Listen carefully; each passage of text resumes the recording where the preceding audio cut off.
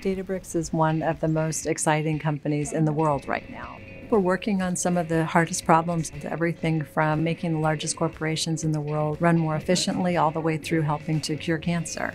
We work on some of the coolest technology. At the same time, we do it within the scale of a startup. We're really tackling some of the world's toughest problems with big data because we still have the co founders that we have really good handle on the vision that we started this company with which is to grow Spark into one of the most widely used big data platforms. Today, Databricks has, of course, Spark, but also Databricks Delta, Machine Learning Flow, and Cloud Service. We've been building a product built for the cloud from the very start. And that's really where the industry is going now. And we've been there since the beginning.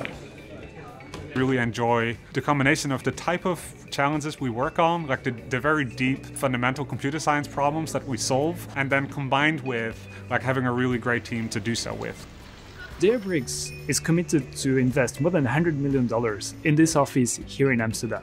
This office is meant to be one of the backbones of the engineering force that is being built around the world. This is not like a boring development center. This is a pure engineering center, and the goals are to grow this office to hundreds of engineers. I really see it being the hub of Databricks engineering in the future. People love coming to work every day at Databricks. We're on track to be the fastest growing software company in the world. And so we know and have confidence in our ability to really become an extraordinary company and one that we feel will help change the face of technology. Join us. Come to Databricks Amsterdam. We're recruiting. Come join us.